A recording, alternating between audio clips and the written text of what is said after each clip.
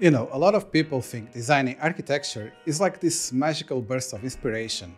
An architect has a genius idea and boom, the building appears. But if you are in the field, you know it's not like that at all. It's a process. It all begins with a simple thought, just an idea for a vision of what the final result might look like. Recently, I've been speeding up that creative process by using this AI tool that transforms those initial ideas into something truly remarkable. And I'll show you my recipe to get your prompts to the next level and get the best results. Meet Imagine Art, an all-in-one creative suite. Imagine Art asked me to show you guys their tool, and this isn't just another design tool. It's like having a creative partner that helps bring your ideas to life. So whether you are a designer, photographer, animator, interior designer, or content creator, this tool does everything in one place. Let me walk you through some of the features that really improved my workflow. So let's start the video by talking about the PhotoGen tool. It's a truly game changer, a tool with endless creative possibilities. And the real question is, what can you do with it? This tool has features like text to image, uh, text to PNG, creative upscale, and restructure and style. I'll start with the tool I rely on the most in my creative process, text to image. Over time, I've developed a method that helps me consistently create visuals that closely match what I imagine. Think of it as my personal recipe for getting the best results with AI.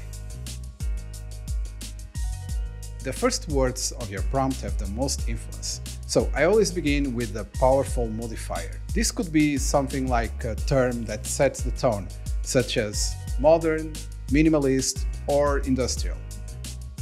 Starting strong helps anchor the direction of the final output.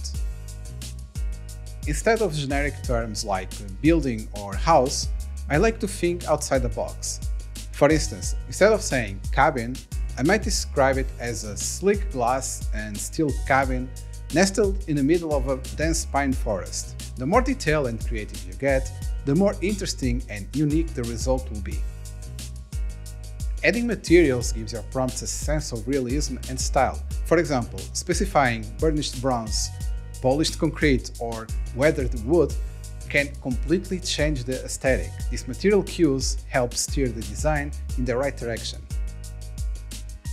Details are where the magic happens. I include elements like golden hour lighting, rain-slick cobblestones, or lush greenery creeping up the walls. These specifics help bring the image to life and give it a polished, cohesive feel.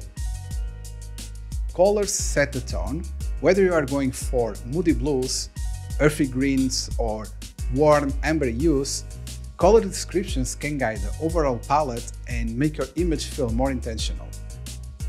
For extra flair, I reference specific styles, artists, or designers, for example, inspired by Frank Lloyd Wright in the style of Scandinavian minimalism, or evoking the cinematic mood of Blade Runner.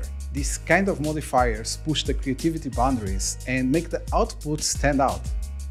Aspect ratio plays a big role in how the image feels. I usually go with 16 by 9 for cinematic visuals, but for vertical designs that I can use in my social, I'll use 9 by 16. If I'm going for a more detailed or focused shot, 4 by 5 works well. Adjusting this detail ensures your image is optimized for its intended platform.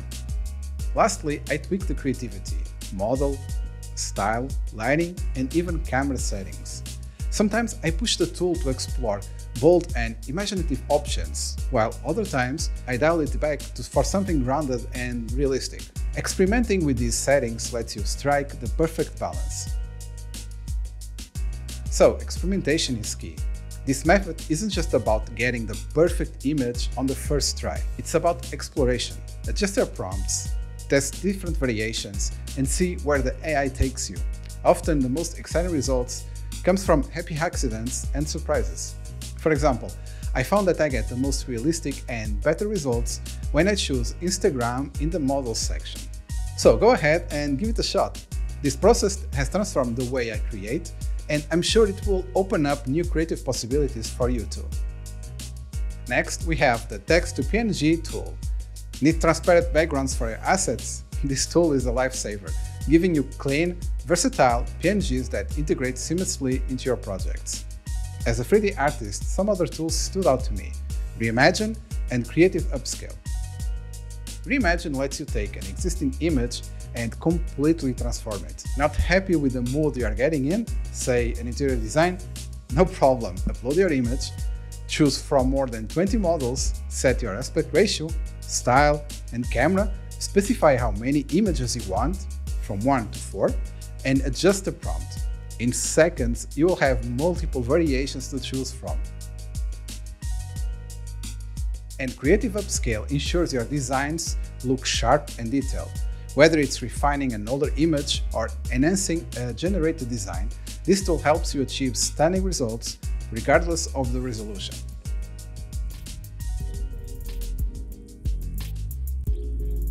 Next, let's dive into one of the newest tools introduced by Imagine Art, Imagine Sketch.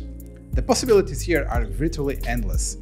You can start with a quick sketch drawn directly on the page, capture an image from your screen, or even use your camera to upload a photo. For this demo, I'll use this sketch. On the left side of the screen, I'll click on Media and upload the image. Here's where it gets exciting. Once the sketch is uploaded, you can customize how you want the generated image to look by adjusting the options on the right side panel. For this example, I will start by selecting a picture style, and you will see why in a moment. One thing that truly impressed me is how fast the image is generated.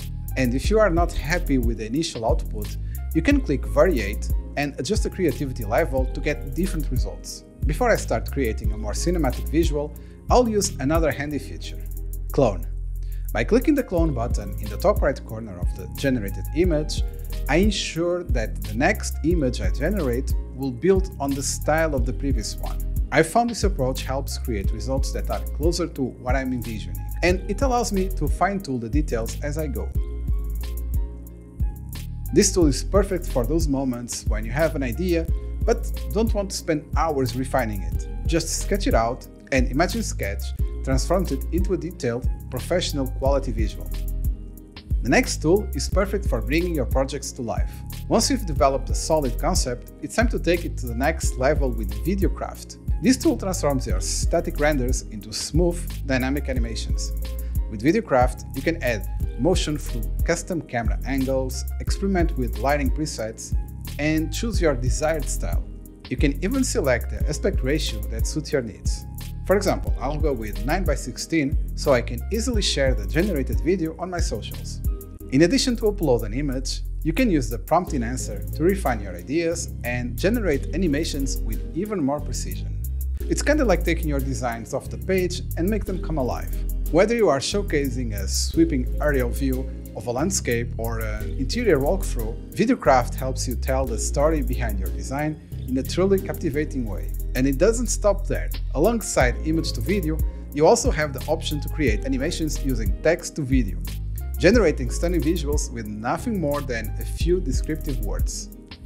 And here's a tip for you. You can also click on a video you find great and copy the prompt, then generate it by pasting the prompt and using the same video model. And like I mentioned before, Imagine Art is still growing, you can expect exciting new tools like train models and music studio in the near future. So if you're ready to push the boundaries of what you can create, give Imagine Art a try. The game changer for architects, designers, and creatives of all kinds. Thanks for watching. Don't forget to give this video a like, subscribe for more design insights, and let me know in the comments what's the first thing you would create with Imagine Art. And see you next time.